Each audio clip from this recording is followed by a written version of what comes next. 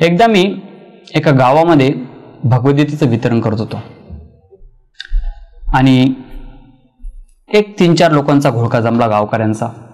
आणि मी त्यांना दाखवत होतो की भगवद्गीता काय आहे तर दोन तीन लोकांनी हातात घेतली गीता आणि बघायला लागले काय गीता. समजावायला लागलो. त्यापैकी एक व्यक्ती होता.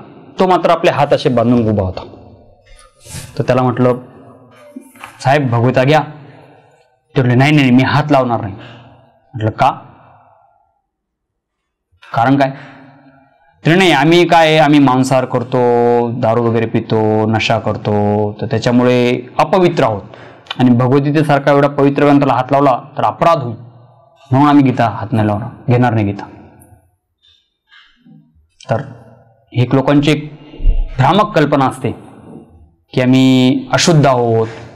आम्ही पालन करत नाही नियमांचं. त्याच्यामुळे आम्हाला गीता वाचता येणार नाही किंवा वाचायची नाही आम्हाला. का? अपराध होऊ नये म्हणून. तर मी त्याला एक सांगितलं की तुम्ही शेतात काम करायला गेले दिवसभर काम करताय तुमचं अंग जे आहे धुळीने आणि घामाने भरलेलं आहे. आणि संध्याकाळी तुम्ही जेव्हा घरी येतात तर एका बादलीमध्ये स्वच्छ नितळ सुंदर पाणी आहे. ते पाणी तुम्हाला आंघोळ करण्यासाठी. पण तुम्ही त्या स्वच्छ पाण्याकडे बघून जर म्हणाले की मी इतका घाण आहे इतका माझ्या अंगावर धुळे घामाने भरलेलो आहे सगळं चिकट झालेलो आहे. मी जर त्या पाण्याला स्पर्श केला तर ते पाणी घाण होईल म्हणून मी त्याला हात लावणार नाही. नाही. त्या पाण्याचं कार्य आहे तुम्हाला स्वच्छ करणे.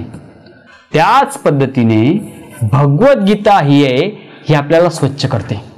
भगव या भगवद्गीता जशी आहे तशी हिच्या उपोद्घातातच सांगितलं रे मलिनो मोचनम पुंसा दिने दिने सकृत गीतामृत स्नानम संसारम मरणाशनम म्हणजे प्रतिदिन मनुष्य पाण्याने स्नान करून स्वच्छ होत असेल.